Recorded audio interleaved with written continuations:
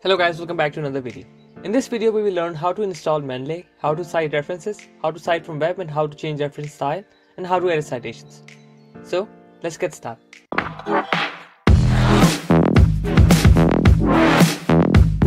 Just I'm going to type in here Mendeley and Mendeley for desktop. So once you click Mendeley on desktop, you will have this options for Windows.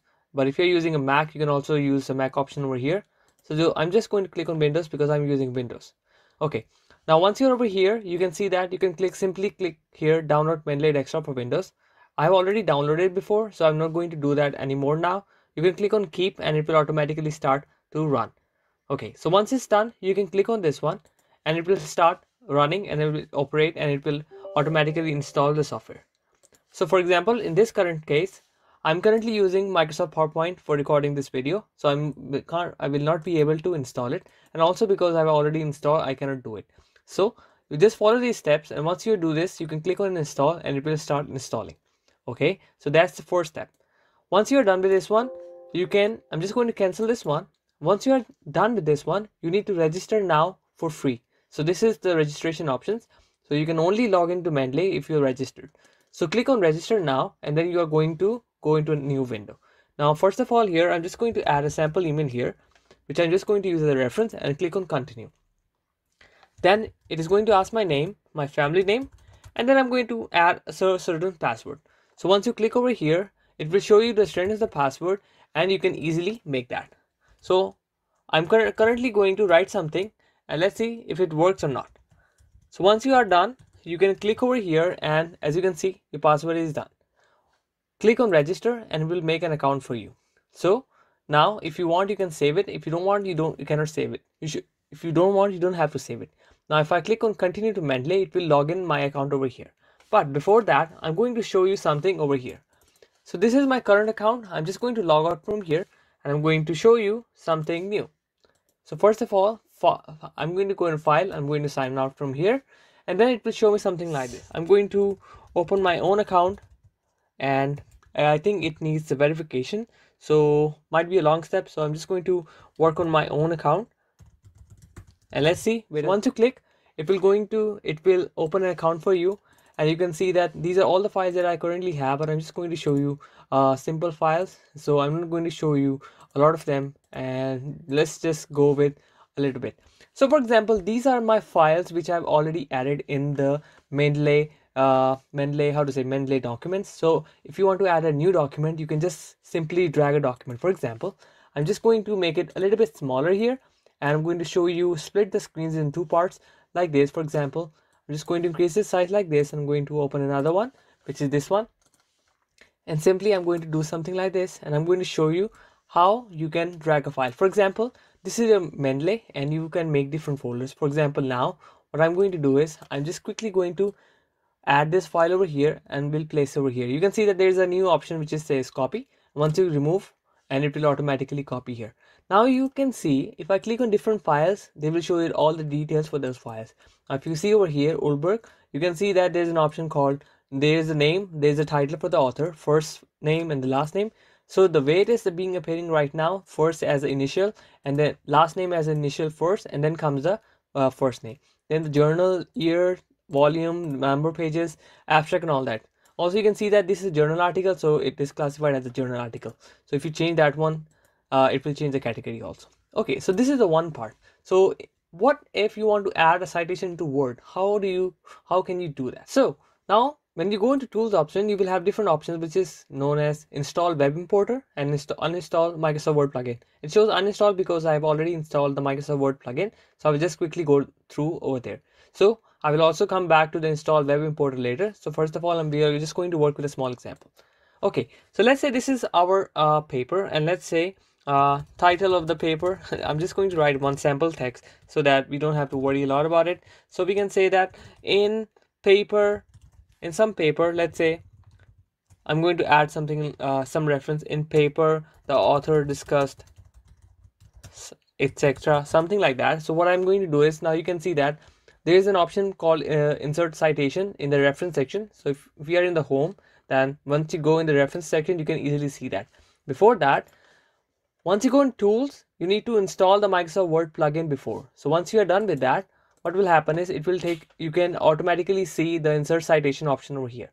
So once you click over here insert citation now it allows you to search the paper by the name or by the author or by anything else. For example i wanted a paper which somehow looks like this i'm just going to show you the example let's say the word have different options the words have different options which includes modeling advanced alkaline electrolyzers and also the name Ullberg what I'm going to do is I'm going to show you how many different ways you can add or uh, add a citation in this one by remembering just the name. For example, the most common one is by remembering the name of the author. So for example, uh, in this case, the name of the author was Ullberg and 2003. So once you click on this one, it will automatically add a citation here. Let's say number one.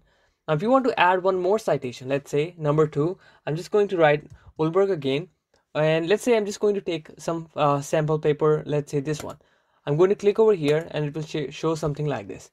Now, these two references are separate. Now, notice one thing. They are separate right now, but when I select them, it gives me the option to merge the citation. So, when your references are consecutive, like 1, 2, or any number which are consecutive, what you can do is you can select them and click on merge citation. So once you click on merge citation, it will automatically show you like this. Now there is other option that what you can do is you can change them into different format. For example, if IEEE says that you need to have uh, one and two like this, then it will automatically show you like this. So it has different journals that you can see.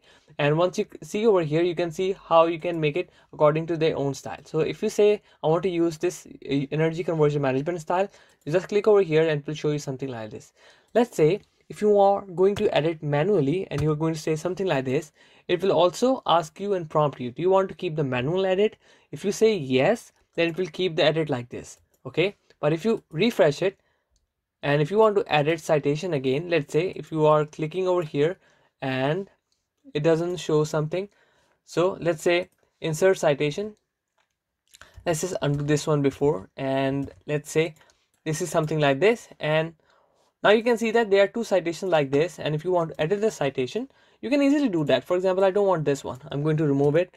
I'm going to say that I want something, some other citation, so, so some other paper. I'm just going to click on this one and it will automatically automatically come over here. So this is one way to add a citation. Okay, so now this is an easy way to do citation. What if that you are studying something online? Once we open the Google Scholar, I'm just going to say hydrogen modeling this is the subject that I'm studying so I'm just going to click over here. Now it has different options. Now what I told you before that if you can install Mendeley uh, web importer which I already have so here you can see there is a sign for Mendeley web importer. So if you click over here it will ask you to sign in again. So what I'm going to do is I'm going to sign in here again and you don't have to worry about anything and you can easily do that. So once I sign in all the documents that are appearing here have PDF they will be shown over here very easy and simply. So now it's just loading the number of documents that are being uh, that are available on this current screen and it will show you how it looks like. Okay there we go. So now you can see this comprehensive modeling study of hydrogen oxidation. It currently is coming over here and once you click over here it will give you an option. Okay where do you want to add? So for example i have my own library. So if i click on my library and if i click on add it will automatically add this paper into Mendeley. But before that, once you go in the Mendeley, you need to press this sync button. So once you click on this sync button, it will automatically come into the documents. You can see this green light. It shows that it is retrieving the documents from online and it is automatically going to add the document here. So let's just say I want to check a comprehensive modeling study of hydrogen oxidation. I'm just going to search it here. Hydrogen modeling comprehensive. Okay so here we go. So a comprehensive modeling study of hydrogen oxidation is added. Now before you add new paper it is going to ask you is are these details correct? So if you are sure about these details if you know about these details you can just simply click here and say details are correct. And this paper is automatically going to be added in your Mendeley for Mendeley uh, Mendeley let's say workspace so this is how you can add a citation into Microsoft Word. Okay, now if you want to, now we have covered three, uh, all these things which includes installing Mendeley, citing references, cite from web, change reference style and edit citation. Really easy and simple to do. And uh, if you have a lot of consecutive citations and if you want to have different citation what you can do is for example go into the styles and here's an option for get more styles if you click here let's say I want a citation from nature journal. And if I click on nature it says automatically install. Let's say journal of nature nature con uh, conservation. If I click on install it will show you install. Then go back to your install version and it will show you journal of nature. Journal of nature conservation which I just installed. Just click here use this style. Click on done and it will automatically do like this. So now last part comes the references. So let's click here references I'm going to make a certain uh, heading then you have an option here insert bibliography. Once you click here your references are going to automatically come here. Okay so this is how you add and use Mendeley in really easy and simple steps. I'm just going to reduce the size because it doesn't look too good over here to me so I'm just going to make it a little bit smaller and we'll show you how it looks like. So guys let's move back to the PowerPoint slide and uh, let's conclude here. Uh, I hope you guys like this video and if you learned how to install Mendeley cite references do let me know in comment down section below and if you haven't subscribed yet do subscribe. Till then take care. Allah Hafiz.